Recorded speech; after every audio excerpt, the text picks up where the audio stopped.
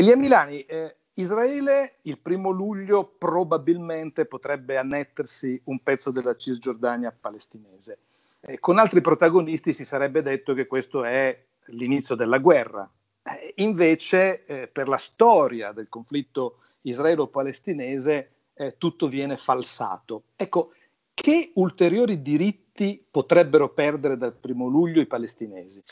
Allora, in realtà è difficile dire cosa cambierà dal primo luglio, perché proprio dal primo luglio in sé forse cambierà poco sul terreno, nel senso a livello pratico cosa cambierà, visto che di fatto, secondo la legge internazionale, eh, Cisgiordania è già un territorio sotto occupazione, e questo eh, lo dice eh, l'ONU eh, e lo ribadisce continuamente. Eh, l'annessione significa prendere, annettere allo, a Israele parti che eh, i palestinesi considerano come futuro Stato di eh, Palestina. Quindi di fatto, secondo tutti gli analisti internazionali, significa mettere fine a quella che è la soluzione dei due Stati, cioè da una parte la Palestina e dall'altra Israele. Quei diritti che, eh, come cambierà dal punto di vista dei diritti, cosa cambierà, ehm, si può forse immaginare guardando che è quello il progetto a cui mira questa annessione che verrà annunciata dal primo luglio in un modo che ancora non si conosce, cioè l'annessione è, viene fatta perché c'è il sostegno della Casa Bianca, c'è il sostegno di Washington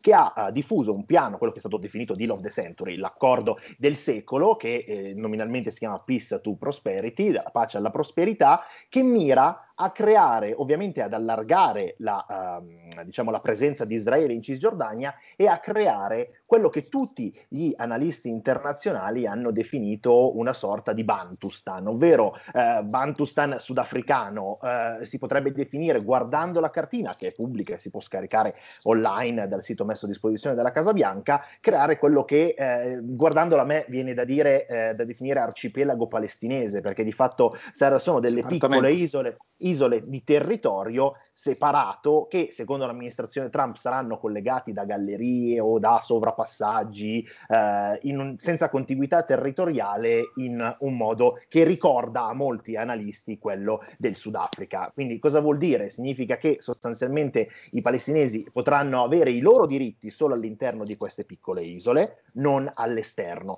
Un elemento importante da sottolineare è quello che ha detto Netanyahu. Netanyahu ha detto uh, qualche settimana fa, io uh, quando annetteremo, uh, ripeto non si sa ancora in che modalità, ma quando mm-hmm. annetteremo non estenderemo la cittadinanza israeliana certo. ai palestinesi che si trovano lì. E questo dà un po' l'idea di quello che è il eh, progetto, nel senso, il, eh, ripeto, non è un punto di vista mio, ma è un punto di vista di tutti gli analisti, non solo palestinesi, ma anche israeliani e non necessariamente della sinistra israeliana, anche di analisti che magari sono a destra ma criticano questa uh, all'annessione, uh, così come la vuole Netanyahu, perché dentro il governo israeliano ci sono diverse anime, alcuni uh, sono più per il dialogo, non si capisce in che modo, altri invece sono invece più per un'annessione unilaterale bilaterale, così viene definita, è quello che succederà se, eh, sarà, se il primo luglio sarà il primo step, il primo passo per la realizzazione del piano di pace, si realizzeranno appunto queste piccole eh, enclavi, non dal primo luglio, ma nel corso del tempo e non ci sarà l'estensione, la, mm, come si chiama,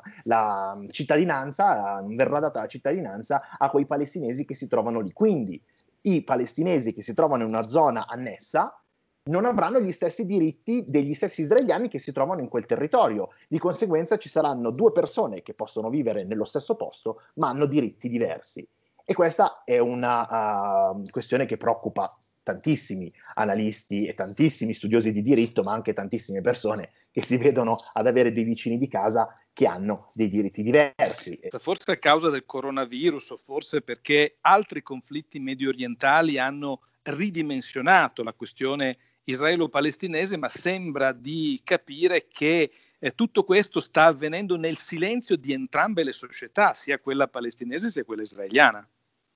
Allora, eh, forse silenzio non, non, è la parola che userei io, però sicuramente non ci sono quelle manifestazioni o, uh, di piazza che si potevano vedere 10, 15, 20 anni fa, quando c'erano eh, delle dichiarazioni sicuramente meno roboanti rispetto a quella che c'è oggi. Partiamo dalla parte, eh, dalla parte palestinese, che è quella direttamente coinvolta. Ci sono dei report dei giornali, sia israeliani che palestinesi, che dicono come sia stato difficile per eh, la, l'autorità nazionale palestinese raccogliere delle persone per protestare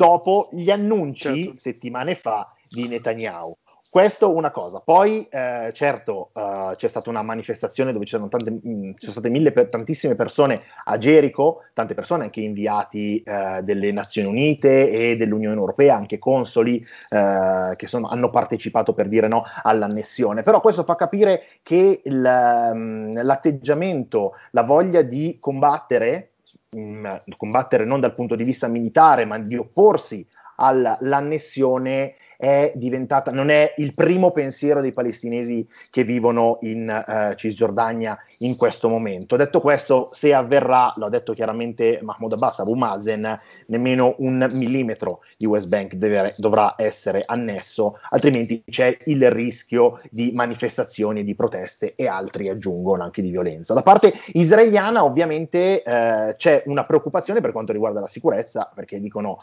eh, questa annessione rischia di destabilizzare una situazione eh, che al momento è assolutamente tranquilla paragonato a 5, 6, 7 anni fa, non c'è nulla non c'è nulla da dire. Ci sono state piccole manifestazioni a Tel Aviv eh, di alcune persone, esponenti della sinistra, che hanno protestato contro annessione, contro il primo ministro, ma sicuramente non ci sono quelle manifestazioni oceaniche che dicono no a, a questa annessione, ricordiamolo che è voluta da Netanyahu e da una piccola minoranza del uh, suo uh, governo e sostenuto, ricordiamolo sempre, da Donald Trump e da Washington.